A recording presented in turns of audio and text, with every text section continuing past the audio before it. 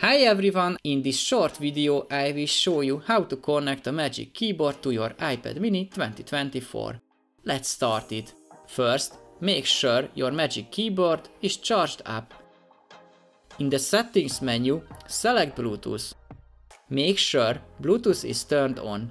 If it's not, toggle the switch to enable it. Please make sure that your Magic Trackpad is turned on. You can turn it on and off with this switch. Your iPad will detect the Magic Keyboard and you will see it listed under other devices on the Bluetooth screen. Now tap on it to connect. That's it, we are done. At the end of my video, let me ask you a small favor. As you can see, most of my viewers are not subscribed. If you find my video helpful, please take a second to give a like and click on the subscribe button to help my videos reach more people. Thank you and see you in the next one.